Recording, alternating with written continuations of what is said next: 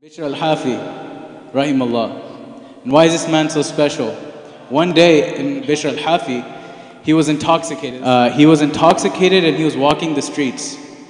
And Bishr al-Hafi, what does he see? He sees this paper while in the state of intoxication. He sees this paper that says Bismillahir Rahmanir Rahim. In the name of Allah, the most merciful, the most compassionate. And he sees people walking over it, so he picks it up. He picks it up out of adab and love and takes it home. And, and to quote from the book, so he found on the road a piece of paper on which was written, In the name of Allah, the most compassionate, the merciful, and he picked it up with reverence, perfumed it, and placed it in a clean place. So he took it home and put it in a high place, in a clean place, because it had the name of Allah subhanahu wa ta'ala. And that same night, in one narration, that same night he dreamt, in a state of vision, he saw, he saw that Allah subhanahu wa ta'ala said to him, O Bishr, as you have made my name sweet, as you have glorified my name, I swear by my glory that I will make your name sweet both in this world and the next. Allahu Akbar. This is a man who's in a state of intoxication. But because of that one act of adab, of love.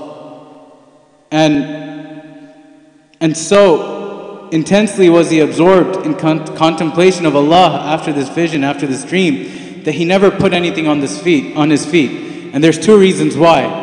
So after that vision of Allah subhanahu wa ta'ala, in, at that, in that state that he was in, he was not wearing any shoes. And so in one narration it says for his entire life he didn't wear any shoes because that was a state in which Allah subhanahu wa ta'ala communicated with him.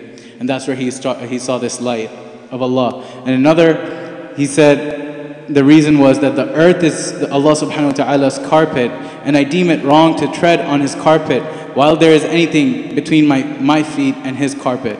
And this is one of his practices with his focus on Allah subhanahu wa ta'ala, as the shoes would have been a veil for him. This was his adab. After the state that Allah subhanahu wa ta'ala has granted mercy, he starts to become a man of Allah subhanahu wa ta'ala, attaches himself to the people of Allah. And he says, three, there are three things, whoever desires to be honored in this world and exalted in the next world, let him shun three things. And I'm going to say them, but they will feel a little harsh.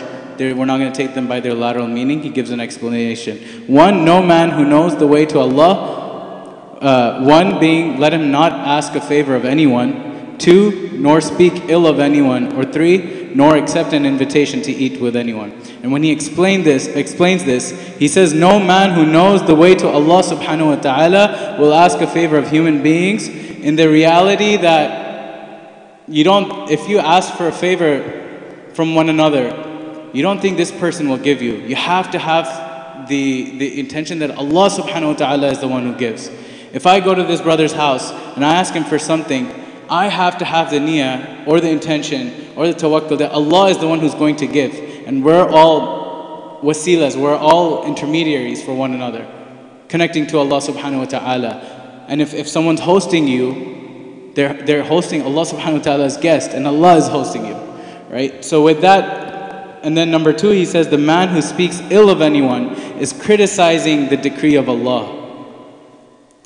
Again, back to the qadr of Allah. And inasmuch as both the individual himself and his actions are created by Allah subhanahu wa ta'ala. And on whom can the blame for an action be thrown except on the agent? So that you don't criticize one another, you don't speak ill of one another, which has become such a continuous habit amongst everyone because each person is a creation of Allah. Whatever they do is being written at that very second by Allah subhanahu wa ta'ala. We focus on our own selves. And this is the reason why he says we don't speak ill of others. And number third, when he says, nor accept an invitation to eat with anyone, this on the lateral means uh, knowing that Allah subhanahu wa ta'ala is the provider. This person is not providing you. It's Allah, but this person is the means of that provision from Allah subhanahu wa ta'ala. These are very deep spiritual um, elements that we have to consider because that's where our, our, our smaller habits, they start amounting